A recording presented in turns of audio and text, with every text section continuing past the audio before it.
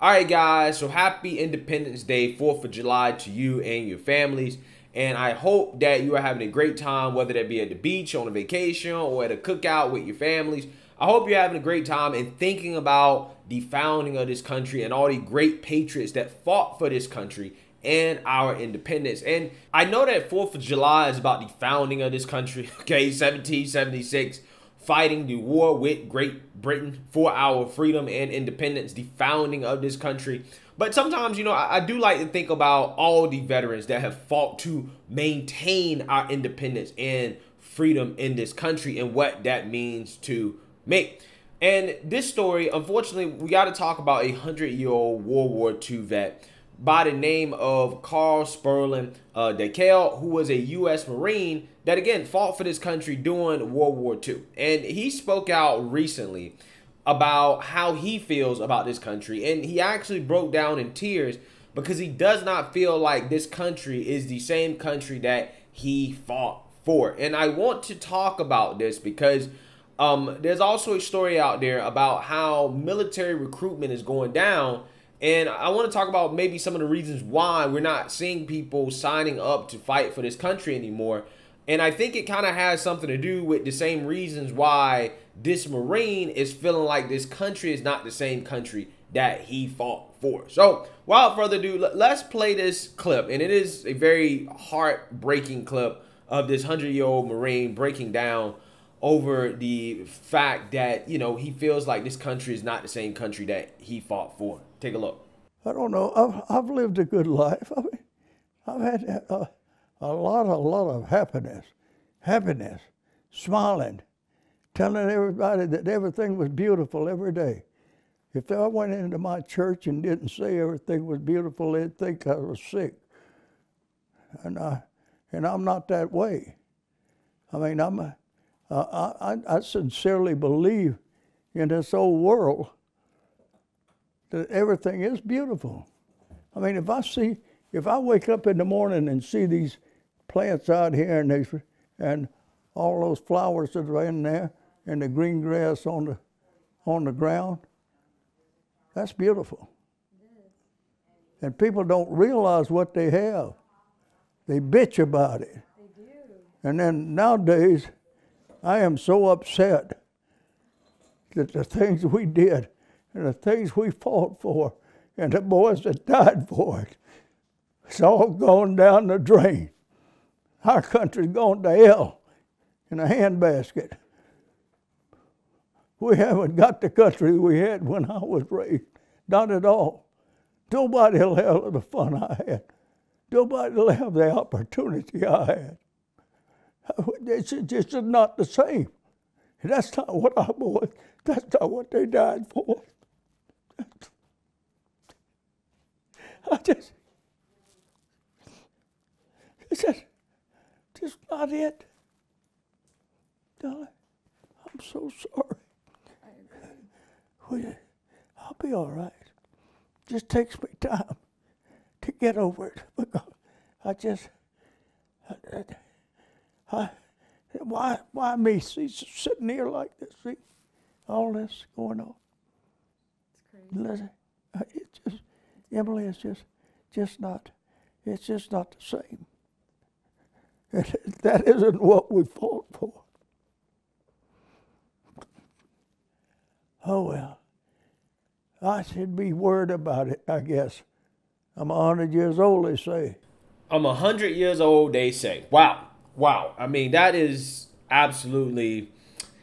It's a very kind of gut wrenching, you know, thing to watch because I, I, definitely feel his pain, right? And I think what he's trying to say is that, you know, a lot of people are complaining and whining about the country that he fought for. And because of that, they're actively trying to destroy the country that he fought for. Okay, people don't realize just how good they have it in America, and the reason why we have it so good is because of people like him. It's because of the brave young men and women uh, that have fought for this country, that put their lives on the line, and then they come back home, and you know maybe 50, 60 years later, you got people talking about how America is so terrible, America is so bad, you know, everything is messed up and it's systemically racist and this, that, and the other. And it's like, bruh, um, you live in the best country on earth, right? You live in the greatest country ever. You have the most valuable citizenship ever, okay? Uh, but again, you have people out here that are actively trying to destroy it, right? Regardless of how good it is, because they don't realize how good it is. They've never stepped foot outside of America to see that when you go to some of these other countries, you just don't have it as good, right? It's just not as good as it is in America, and I can definitely see why somebody who fought during World War II would, you know, be upset with the direction of this country and feel like the things that he fought for, um, you know, is, is kind of, you know, kind of going to waste. Okay. Um, so again, that, that is very sad to see, and I, I feel terrible that he feels that way. Uh, but again, that's part of the reason why I do my channel uh, is because you know I don't necessarily like the direction that this country is headed in and you know this is my way of trying to contribute to you know reversing course okay uh, because i think more people do need to appreciate veterans like him in the country that they fought for.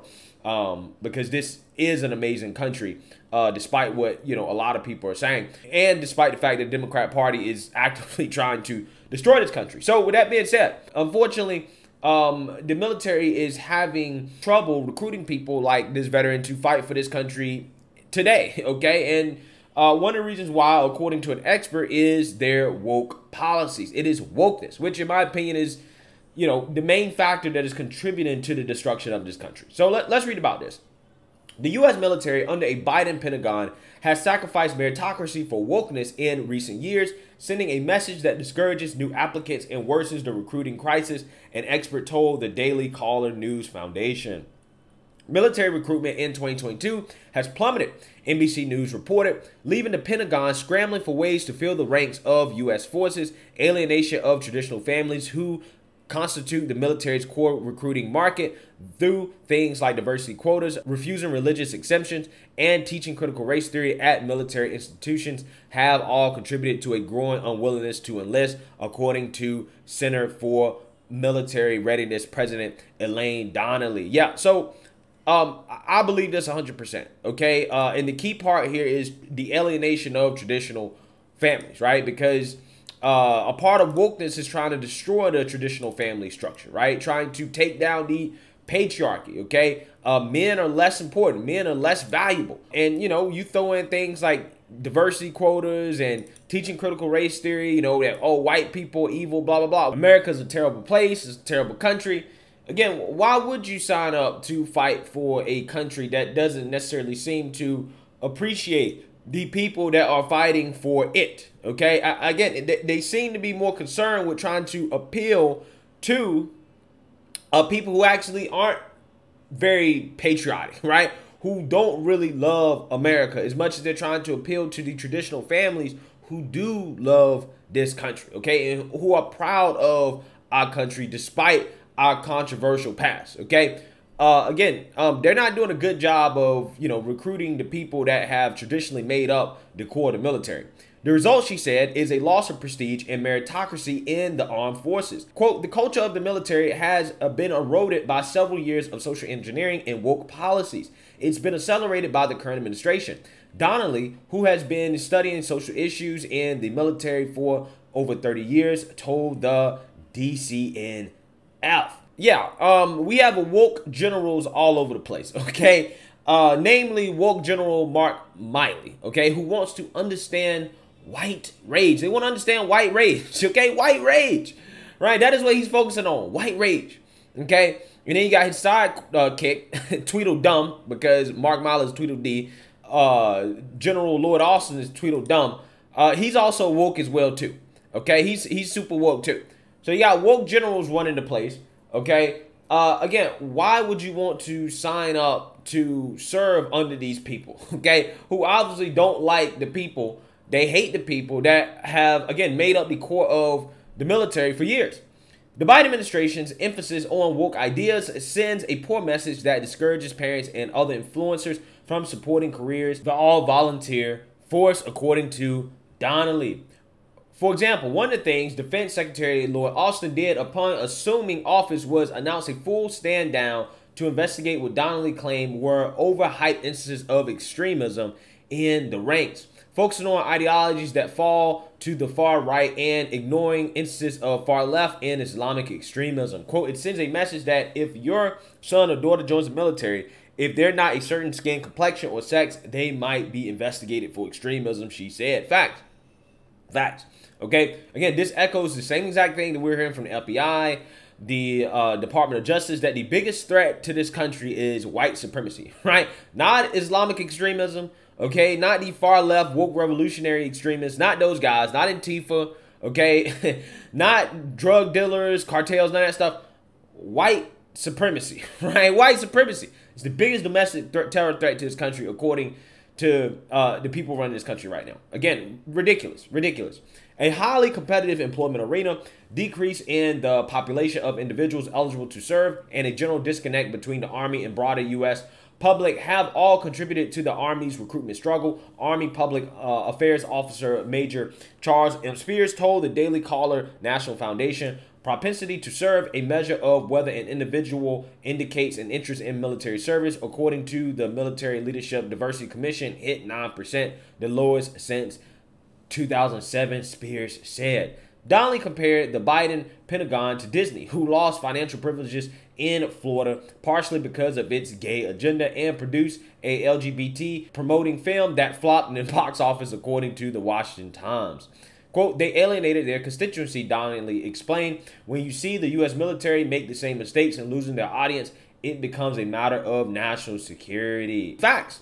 That's true. It is a matter of national security. Because again, you cannot come out here and openly alienate the people that make up who you're marketing towards, right? The, the main core of your audience. And this is why these companies that come out here and bash white people. I don't get it, right? White people are still the majority of this country. Um, you need them, right, in order to be a successful business. Okay, you need them in order to have people, enough people in the military, right? I'm just saying, I, I really don't get it. The Pentagon attributed a poor recruiting environment to a quote disconnected and disinterested youth market that is unfamiliar with military service, resulting in an over reliance of military stereotypes. Major uh, Charlie Dietz a Department of Defense spokesperson told the DCNF. The Army announced a plan to, in March, temporarily reduce the size of the active duty force from 485,000 soldiers in fiscal year 2021 down to 473,000 by 2023 for quality considerations, Army Undersecretary uh, Gabe